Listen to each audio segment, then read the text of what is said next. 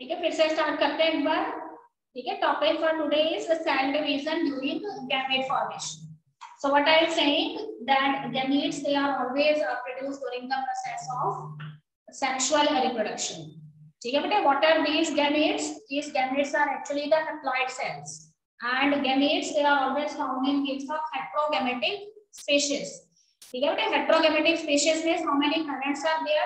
Two parents are there. One is the male parent and another is the female parents.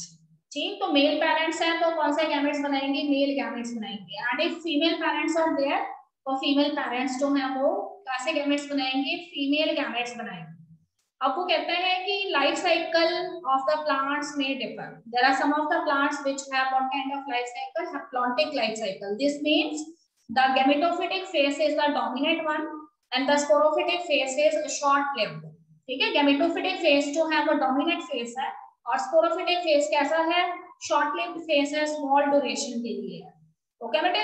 तो चाहे वो कहता है कि डिप्लॉन्टिक लाइफ साइकिल है whether it may be haplontic life cycle gametes are always produced ठीक है? पर what is the special thing if we are talking about the haplontic life cycle तो देखो, याद रखो सभी स्टूडेंट कि the life cycle of the plant is haplontic life cycle और गैमेटोफिटिक फ़ेज़ इज़ डोमिनेंट तो उस सिचुएशन में अगर हमें एग्जांपल देने हैं प्लांटिक लाइफ साइकिल वाले प्लांट्स के तो उसमें हमारे पास एल्गेज आ जाती है, ठीक है? Fungi are also there and bryophytes are also ठीक है? इन एल्गेज फंजाई ब्रायोफाइट्स और एनिमल्स में हमारे पास मोनोरास तो मोनोरास जो है, इन सभी के अंदर वो कहता है कि हैप्लॉइड फ़ेज़ जो है, वो डोमिनेट होता है।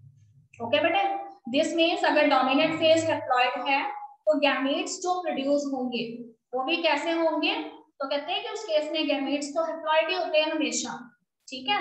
तो इसमें खास चीज़ है one very important thing is कि whenever these gametes they fused during the process of fertilization तो यू ऑलवेज नो कि हमेशा when the male and female gametes they fused they form zygote वो जाइगोट बनाते हैं। But the life cycle is a haplontic type of life cycle ठीक? तो इसका मतलब जाइगोट जो है वो तो डिप्लॉयड है। तो इसका मतलब जाइकॉट जो है उसके अंदर यहाँ पर क्या होगी? मियोसिस होगी। ठीक है? तो in the zygote meiosis takes place and as a result of meiosis ठीक है? डिप्लॉयड जो जाइगोट है उसमें जब मियोसिस हो जाती है तो उसके बाद उस पे क्या बनेंगे? हैप्लॉइड स्पोर्स बनेंगे। And these haploid spores they germinate And they germinate to form the haploid gametophytic phase again Okay, one thing you have to remember that this happen in case of algae, in case of fungi and in case of bryophytes. Okay, students.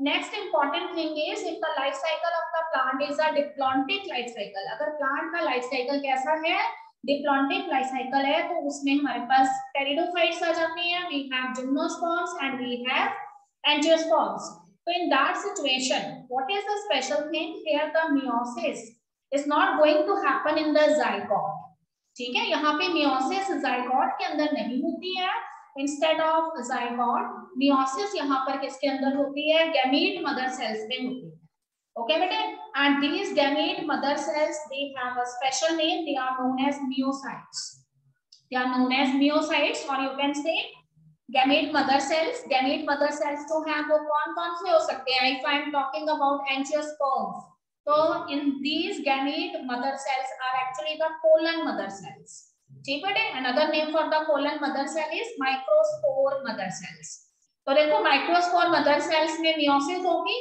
And meiosis होने के बाद क्या होगा? Microspores बनेंगे and you know that in case of angiosperms these four four microspores they are joined together. Or you can say pollen grains are joined together that's why they are known as pollen tetrad इसलिए हम इनको pollen टेट्रार्ड्स भी कहते हैं and later on when dehydration takes place then each of these pollen they get separated from a group of four and they behave as an individual unit okay students तो बियोसाइट्स क्या है बियोसाइट्स gamete mother cells है हमेशा diplontic life cycle में हमें नज़र आती है एंड इनमें मियोसिस होती है तो ये या तो पोलन मदर सेल हो सकती है या फिर मेगास्पोर मदर सेल हो सकती है अभी आपको बताया if they are the pollen mother cell they undergoes meiosis they form pollen grains and pollen grains are attached in the unit of four with each other these are known as pollen tetrads okay but if they are the megaspore mother cell अगर ये megaspore mother cell है तो megaspore mother cells again undergoes meiosis in case of female parent and this megaspore mother cell, they form how many megaspores? Four megaspores are formed. And out of these four megaspores, ठीक है बेटे only one megaspore survive सिर्फ़ एक ही megaspore survive करेगा और rest of the three megaspores they degenerate ठीक है why this megaspores they degenerate तो कहते हैं कि because of lack of nutrition क्योंकि न्यूट्रिशन इनको नहीं मिलता है प्रॉपर इसलिए थ्री मेगास्पोर्स की डेथ हो जाती है and only one megaspore remains and this megaspore it later behave as the ovule ठीक है यही बाद में ओव्यूल की तरह बिहेव करता है And one very important thing that I want to uh, tell you that sometimes these gametes, okay, whether they may be the male or female gametes, so out of both of these, male gametes generally कैसे होते हैं motile होते हैं This means they have their own locomotory organs. But female gametes they are generally stationary. वो non motile होते हैं stationary होते हैं पर कई बार वो कहता है कि in certain multicellular type of algae, bryophytes या फिर टेरिडोफाइट्स ठीक है उनके अंदर कहते हैं कि both the male as well as the female gametes they are motile they can easily move okay students तो if the male gametes they are non motile in nature then how this male gametes they reaches the female gamete for the purpose of fertilization so in these cases they require certain medium through which these male gametes, they finally reaches the female gamete. ठीक है बेटे, अब ये medium क्या हो सकता है जिससे मेल गैमेट्स ने मूव करना है? ये मीडियम या तो वाटर हो सकता है और यहाँ ये क्या हो सकता है? विंड हो सकती है या फिर कोई इंसेक्ट उनको लेके जा सकता है। ठीक है? तो on the basis of this when this male gametes ठीक है they move from one place to another through a medium what kind of medium they adopt? Whether they take the help of water, they take the help of wind, they take the help of insect तो उसी के basis पे हमने pollination को अलग अलग name से यहाँ पे प्रोनाउंस किया है। अगर विंड से होती है तो एनिमोफिली है वाटर से होती है तो हाइड्रोफिली है, और अगर इंसेक्ट से होती है तो कौन सी है? एंटोमोफिली है। ओके बेटे, इसके अलावा बैट्स एनिमल्स भी पोलन ग्रेन्स जो है हमको लेकर जाते हैं।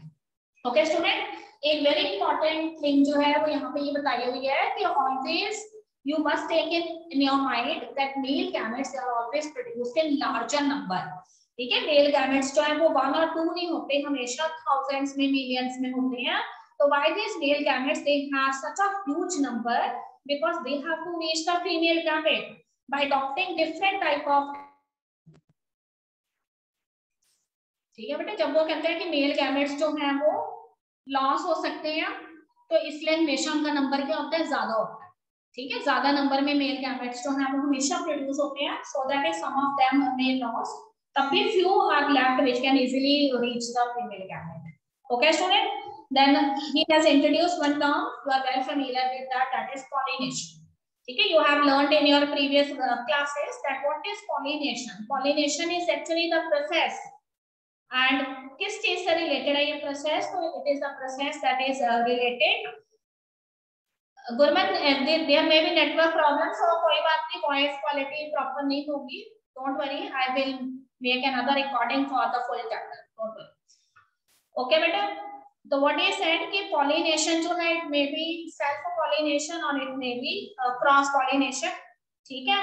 तो डिपेंडिंग अपॉन कि सेल्फ पॉलिनेशन है या फिर क्रॉस पॉलिनेशन है तो उसी के बेसिस पे वो कहते हैं कि फर्टिलाइजेशन फर्टिलाइजेशन है इसके चांसेस होते हैं if self pollination is there ठीक है बेटा if self pollination is there then what is the special thing that both the male and the female sex organ they are present in the same flower so pollen grains they can easily reach and they can fall on the stigma successfully and fertilization will take place okay?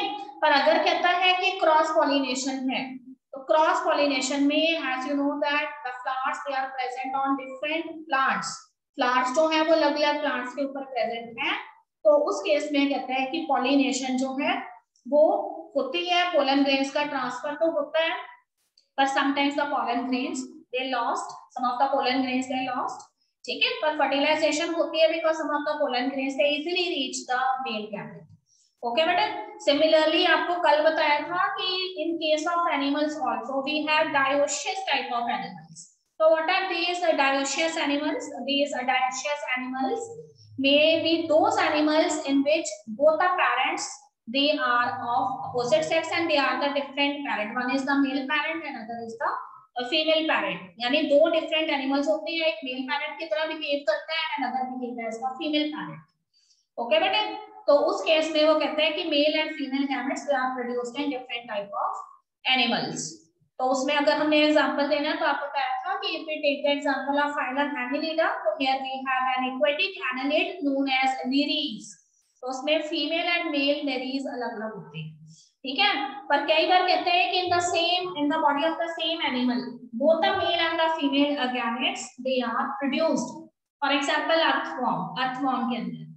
ठीक है तो इस तरह के animals को हम हर्माफेरोडाइट animals कहते हैं दिस इज़ क्लियर अब हम आगे नेक्स्ट टॉपिक पे अब नेक्स्ट टॉपिक इज़ फर्टिलाइजेशन तो sometimes we use another term for fertilization and that is known as syngamy ठीक है बेटे what is syngamy syngamy is actually the fusion of the male gamete with the female gamete ठीक है तो when the male gamete fused with female gamete always they form a diploid zygote okay student but this zygote later has to convert into embryo and embryo undergoes so many changes so many cell division and later it develops into the individual तो यहीं पे हम यहाँ पे वही study करने वाले हैं कि और fertilization is one and the same thing but sometime there are special type of events occur हमेशा आपको पता है कि fertilization has to take place then there is fusion of the male gamete with the female gamete पर कई बार क्या होता है कि there is no fusion between the male and female gamete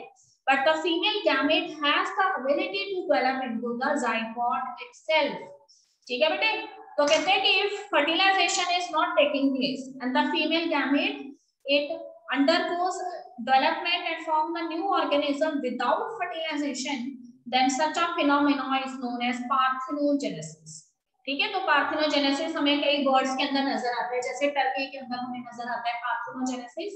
ठीक है बेटे? स्पेशल टाइप ऑफ़ बॉन्ड्स होते हैं एक्वेटिक बॉन्ड्स जिनको हम रोटी फ़र्स्ट कहते हैं। उसके अंदर हमें पार्थिनोजेनेसिस नज़र आता है। इसके अलावा इन हनी बीज ठीक है? सभी स्टूडेंट्स को पता है कि हनी बीज जो है, उसमें हमारे पास ड्रोन्स होते हैं, जो उनके मेल्स होते हैं and they develop by the process of ठीक है? Fertilize they develop by the process of parthenogenesis. Okay बेटे?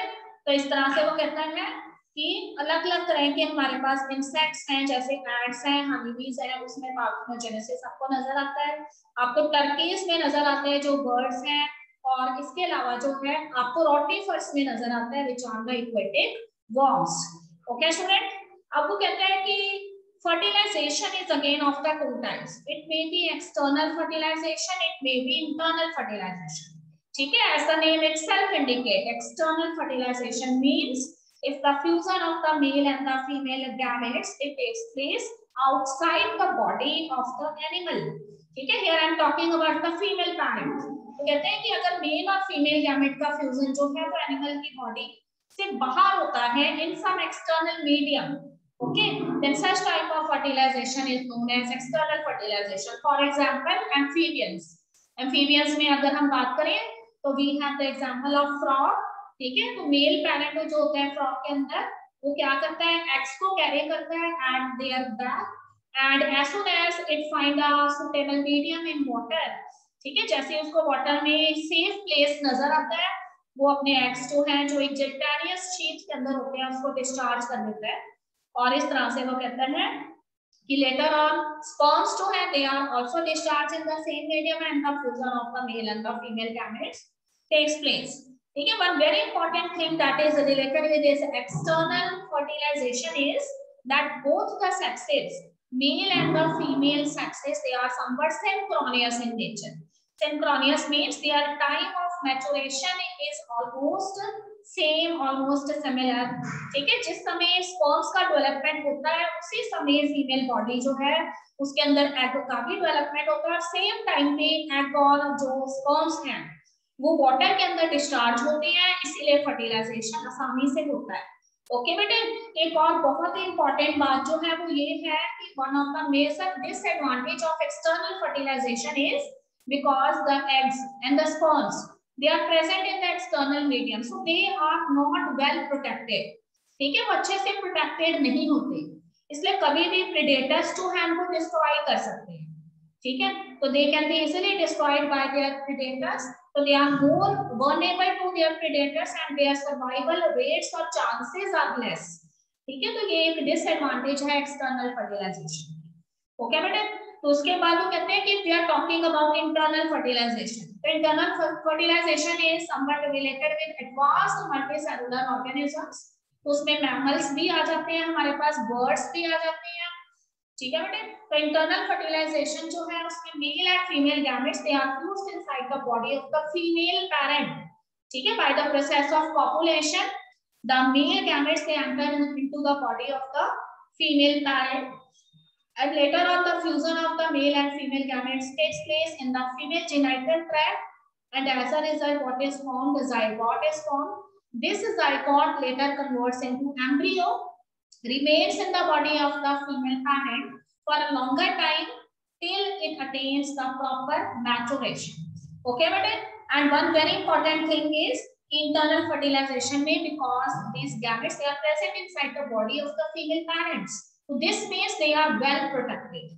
ठीक है अच्छे से प्रोटेक्टेड है इनके चांसेस जो है सर्वाइवल रेट के वो भी ज़्यादा है और उनको प्रिडेटर्स का किसी तरह का कोई प्रॉब्लम नहीं है ठीक है predators can not destroyed them because they are well protected inside the body and secondly what I have told that when the fusion takes place zygote is formed zygote converts into embryo then proper development of the embryo takes place inside the body of the parent female parent for example, if we are talking about human beings, ठीक है? तो आपको पता है कि human beings जो है, उसमें फीटस के डेवलपमेंट में लगभग कितने मंथ लग जाते हैं? नाइन मंथ लग जाते हैं। ओके स्टूडेंट तो one major advantage of the internal fertilization is proper embryonic care and protection is given to these you can say zygote और यू कैन से एम्ब्रियो तो किसी तरह का प्रेडेटर्स जो है, उनका कोई प्रॉब्लम नहीं है उनको they can easily survive okay student एक और बहुत ही इंपॉर्टेंट चीज़ उसने ये बताई है कि if we are talking about humans तो ऐसा नहीं है कि थोड़े से स्पर्म्स प्रोड्यूस होते हैं। Millions of sperms they are injected into the body of the female parent ठीक है? And these sperms they have their different type of mortality rate and those sperms which have vigorous type of mortality they can easily reach into the uh, ovum and they can fuse with the ovum and zygote okay बेटे? अब जब human reproduction chapter पढ़ेंगे तो आपको बताया जाएगा कि humans जो है वो मोनोस्पर्मिक होते हैं। ठीक है? ह्यूमंस जो है वो मोनोस्पर्मिक है। दो millions of sperms are produce but only one sperm it enters into the can say cytoplasm of the ovule. Uh, you can say ovum and fused with the ovum and form zygote. ठीक है? अब सब बच्चे सोचोगे what about the rest of the sperms तो वो आपको बताया जाएगा ह्यूमन रिप्रोडक्शन में that the ovum is surrounded by a special type of bone layer and that is known as zona pellucida और जोना पैलिसोडा लेयर जो है जब एक स्पर्म एंटर कर जाता है तो there is a modification in the zona pellucida layer and it do not allow other sperms to enter that's why humans are monospermic in nature okay student और दूसरी चीज़ हमेशा स्पर्म्स जो है चाहे हम किसी प्लांट की बात कर रहे हैं उसमें एंथ्रोजोइड है या कोई भी इस तरह के गैमेट्स हैं, वो हमेशा ज़्यादा अमाउंट में प्रोड्यूस होंगे, ठीक है? तो अब हम आगे अपने मेन टॉपिक पर and our last topic is post fertilization events ठीक है बेटे? As the name itself indicate post fertilization event means those events which takes place after fertilization ठीक है? अब सभी बच्चों को पता है कि फर्टिलाइजेशन हो चुका है there is a fusion of the male and the female gamete तो after fertilization what is form हमेशा याद रखिए कि after fertilization a diploid structure is form and that diploid structure is known as zygote. उसको हम zygote कहते हैं। तो देखो पोस्ट फर्टिलाइजेशन इवेंट्स में हमें दो चीज़ें देखने को मिलती है। वन इज़ द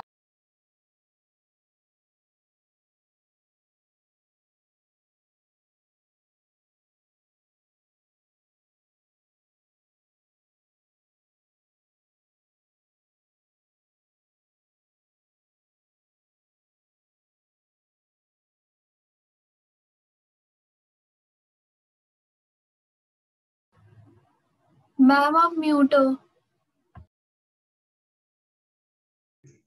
अब देखो आवाज़ आ रही है yes ma'am okay bete so what i am saying that in the events of post fertilization okay two things we have to consider here one is a zygote and another is embryo development ठीक है बेटे embryo development और embryogenesis means the origin of the embryo तो देखिए formation of zygote what kind of zygote it is it is a diploid zygote means how many set of chromosomes are there double set of chromosomes are there okay बेटे तो कहते हैं कि sexually reproducible organism they have a diploid structure known as a zygote and this zygote ठीक है if the kind of fertilization is external kind of fertilization this means this zygote is present in the external medium तो अगर zygote external medium में present है so it is more vulnerable to the predators ठीक है predators can destroy them anytime predators जो है वो उनको destroy कर सकते हैं zygote ओके बेटे तो उस केस में वो कहता है कि काफ़ी चांसेस रहते हैं जायगॉट जो है उसके डिस्ट्रॉय होने के या फर्दर वो एम्ब्रियो में डेवलप होता है या नहीं ओके तो उसके बाद कहते हैं कि अगर fertilization internal type of fertilization है तो कोई प्रॉब्लम नहीं है because the zygote is well protected inside the body of the female parent so it can easily enters into the embryo phase ठीक है बेटे? और एम्ब्रियो का भी प्रॉपर नरिशमेंट होता है फीमेल बॉडी में उसका एम्ब्रियोनिक केयर मिलता है। तो इजीली जो है वो फीटस में और फीटस लेटर ऑन इंडिविजुअल में डेवलप हो जाता है। अब देखो एक बहुत ही इंपॉर्टेंट चीज़ बताई है कि we are talking about algae और फंजाई ठीक है? After the formation of the zygote तो ये जाइगॉट जो है, अगर फेवरेबल कंडीशंस प्रेजेंट नहीं है हैबिटेट में, if the conditions that are present in the habitat of algae or fungi, they are not the favorable one. What this zygote do at that time? so this zygote, it क्या करता है? अपने आप को surround कर लेता है एक थिक वॉल लेयर से। ठीक है? अपने आसपास जो है, एक थिक वॉल लेयर जो है बना लेता है और उसकी वजह से जो है वो क्या कहता है एक्सटर्नल एनवायरमेंट में प्रेजेंट जो हार्श कंडीशंस हैं उनसे अपने आप को प्रोटेक्ट कर सकता है तो this zygote it secrete a hard tough wall around itself and it go undergoes a period of rest for some time it do not show any kind of metabolic activities it suspend their metabolic activities So such a resting period of the zygote is known as perennation. ठीक है बेटे what I am using the term perennation. Perennation that is P E R E N A T I O N perennation. Okay? Perennation क्या है किसी भी zygote का resting period होता है, और उस दौरान जो है जायगॉट कोई मेटाबॉलिक एक्टिविटी शो नहीं करता, पर when the favourable conditions arises जब फिर से फेवरेबल कंडीशंस आ जाती हैं तो जायगॉट जो है, इसकी वॉल लेयर जो है it get burst and this zygote it later develops into embryo and in this way ठीक है, इसके अंदर फर्दर डेवलपमेंट जो है वो होते रहते हैं। अब देखो, ये जो मैं एम्ब्रियो के बारे में बोल रही हूँ तो इसका मतलब I am talking about the multi cellular kind of plants ठीक है? एम्ब्रियो का डेवलपमेंट जो है वो आपको कहाँ पे नज़र आता है? तो ब्रायोफाइट्स तक अगर आपने पढ़ा था उसके अंदर आपको जाइगॉट बताया गया था। और अगर आपको याद आ रहा है, हमने बताया था कि सीड वगैरह जो है वो कहाँ पे बनते हैं जाके? ठीक है? तो उसमें आपने याद रखना है कि टेरिडोफाइट्स जो है वहाँ से सीड का डेवलपमेंट स्टार्ट होता है। तो अगर हम एम्ब्रियो टर्म यूज़ कर रहे हैं तो इसका मतलब वो लोअर ऑर्गेनिजम्स के लिए नहीं है। That is for the higher organisms okay बेटे? आपको कहते हैं कि एक और खास चीज़ है। आपको पता है कि सेल डिवीज़न जो है मियोसिस है जिससे क्या फॉर्म होते हैं? गैमेट्स फॉर्म होते हैं। ठीक है? But if the life cycle of the plant is a haplontic type of life cycle, then this meiosis, it always takes place in the zygote. ठीक है? फिर से सुनेंगे सभी स्टूडेंट मैंने आपको ये बोला है कि अगर प्लांट का life cycle haplontic life cycle है, यानी एल्गी हो सकती है फंजाई हो सकती है ब्रायोफाइट्स हो सकती हैं तो उसमें हमेशा याद रखिए कि जाइगोट के अंदर मियोसिस होगी और मियोसिस होने के बाद क्या बनेंगे? हैप्लॉइड स्पोर्स बनेंगे, वो जर्मिनेट करेंगे और हैप्लॉइड गैमेटोफिटिक फेस बनाएँगे। ठीक है बेटे? पर अगर वो कहता है कि हमारे पास डिप्लॉइड प्लांट्स हैं डिप्लॉन्टिक लाइफ साइकिल रखते हैं प्लांट्स जैसे कि टेरिडोफाइट्स हैं जिम्नोस्पर्म्स हैं एंजियोस्पर्म्स हैं तो उसके अंदर जाइगोट में मियोसिस नहीं होती। ठीक है? क्या बोला है मैंने? मैंने ये बोला है कि जाइगोट में मियोसिस नहीं होती है in case of advanced spermatophytes ठीक है? Such as pteridophytes gymnosperms and angiosperms अब मुझे ये बताइए कि अगर जाइगोट में मियोसिस नहीं होती है तो फिर मियोसिस कहाँ पर होती है? हाँ जी। अगर साइकॉट में मियोसिस नहीं होती तो फिर कहाँ होगी एक टर्म यूज़ की थी मियोसाइट्स ठीक है मियोसाइट्स जो है वो गेमीट मदर सेल्स को कहते हैं हम। तो वो मेल के केस में माइक्रोस्पोर मदर सेल या पोलन मदर सेल हो सकती है और फीमेल के केस में वो क्या हो सकती है? ठीक है? मेगास्पोर मदर सेल्स हो सकती है। तो अगर आपको पुराने लाइफ साइकिल अच्छे से याद आ रहे हैं तो आपको ये भी याद आ रहा होगा कि हमने टेरिडोफाइट्स में, हमने जिम्नोस्पर्म्स में और एंजियोस्पर्म्स में ये टर्म्स हमने यूज़ की थी माइक्रोस्पोर मदर सेल ठीक है? और मेगास्पोर मदर सेल ये इजिली हमने टर्म्स यहाँ पे यूज़ की थी। और हमने एंजियोस्पर्म्स जो है, वो टेंथ में पढ़ा हुआ है डबल फर्टिलाइजेशन पढ़ा है। उसमें हमें सारा पता है कि मेगास्पोर मदर सेल्स में जब मियोसिस होता है तो फोर मेगास्पोर बनते हैं थ्री डीजेनरेट हो जाते हैं वन है ठीक है? उसी तरह से पोलन मदर सेल्स में जब मियोसिस होता है तो पोलन ग्रेन्स बनते हैं और पोलन ग्रेन्स जो है फोर फोर अटैच होते हैं, इसलिए हम उनको पोलन टेट्राड कहते हैं। लेटर ऑन उसमें से वाटर डिहाइड्रेट हो जाता है one pollen grain remains okay बस इतना सा बड़ा डिफरेंस है। उसके बाद देखिए दे हैव यहाँ पे उसने आपको कहा है कि एनिमल्स को भी we have divided into two categories ठीक है? दीस एनिमल्स में बी ओवी पैरस टाइप ऑफ़ एनिमल्स और दीस में viviparous type of animals ठीक है? It depends upon the development of the zygote, where the development of the zygote takes place, whether it is inside the body of the animal or it is outside the body of the animal. ठीक है? For example if I am talking about oviparous type of animals तो देखो ओवी ओवी word बना है ओवा से। ठीक है? तो इसका मतलब इस तरह के एनिमल्स जो है वो क्या करेंगे? एग्स देंगे। एग्स देंगे इस तरह के एनिमल्स और एग्स जो है, वो कहते हैं कि हमेशा बॉडी जो है उसमें से एग्स की डिलीवरी होगी और एग्स में से जब बेबी बर्ड्स जो है वो अराइज होने हैं तो these eggs they are later ठीक है? Undergoes are incubation period ठीक? और उसके बाद उसमें से बेबी बर्ड्स जो है they comes out this means their further development, it takes place outside in the outside environment in the external medium. So such type of animals they are known as oviparous type of animals. तो एक चीज़ याद रखिए कि अगर उन्होंने external medium के अंदर अपने एग्स दिए हुए हैं तो कहते हैं कि उस केस में क्या होगा जो एनिमल्स हैं या बर्ड्स हैं, जो भी, उनके एग्स जो है, उनको डैमेज हो सकता है उनके प्रेडेटर्स जो है they can easily destroy the eggs okay student पर अगर कहते हैं कि we have viviparous type of animals then these viviparous type of animals they do not lay eggs ये कभी भी eggs नहीं देते हैं instead of eggs in eggs की जगह पे जो है वो हमेशा किसको बर्थ देंगे they always give birth to their offspring ठीक है तो कई बार हम एक और टर्म भी यूज़ करते हैं ovoviviparous what is ovoviviparous तो ovoviviparous means कि they can produce eggs और they can also produce sometimes young ones ठीक है अगर आपको याद है स्नेक्स के बारे में तो सभी स्टूडेंट ये भी जानते हैं कि स्नेक्स जनरली क्या देते हैं एग्स देते हैं but there is a, uh, in the recent years we have find certain species of snakes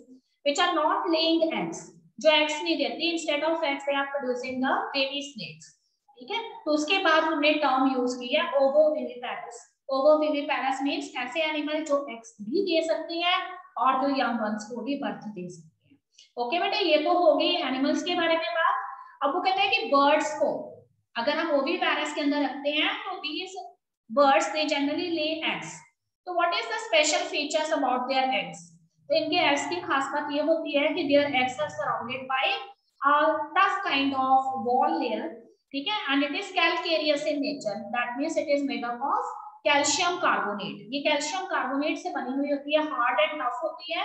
तो why this layer is hard and tough या शेल जो है वो कैल्शियम कार्बोनेट से क्यों बनी हुई है? तो it is only kind of adaptation from their predators so that their predators can not easily destroy the eggs ठीक है? Then when these eggs they are present in the external medium okay student viviparous में तो कोई दिक्कत नहीं है। In viviparous the zygote is produce inside the body of the you can say female parent और zygote जो है later converts into embryo embryo undergo so many cell division ठीक है? At stages of development, then it becomes the fetus. And when the fetus, it is fully developed, it comes out from the body of the mother. ठीक है? तो ये पूरा का पूरा जो पीरियड होता है, जब एम्ब्रियो जो है, उसका डेवलपमेंट होता है। ठीक है? For example if I am talking the taking the example of this human beings तो ह्यूमन बींग्स में एम्ब्रियो का जो डेवलपमेंट है, वो नाइन मंथ तक चलता रहता है फीमेल पेरेंट की बॉडी के अंदर। इस पीरियड को हम जेस्टेशन पीरियड कहते हैं। ओके बेटा? अब टाइम होने वाला है, उसके बाद हमने फाइव मिनट के बाद मैंने एक और लिंक भेजा है, उसको आपने रीज्वाइन कर लेना है। इस लिंक पे क्लिक नहीं करना है, मैंने एक नेक्स्ट लिंक बनाया है, नौ बजे वाला। ठीक है बेटा, उस पर आप ज्वाइन कर लेंगे। ओके तो उसके बाद देखो, एक चीज़ उसने बताई हुई है कि जेस्टेशन पीरियड क्या है? That is the period of development of the embryo तो in case of human being this gestation period of is of how many month it is of 9 month okay student उसके बाद foetus जो है fully develop foetus का delivery होती है। Last paragraph में आपको उसने ये बताया है कि if I am talking about fertilization in case of angiosperms तो व्हेन द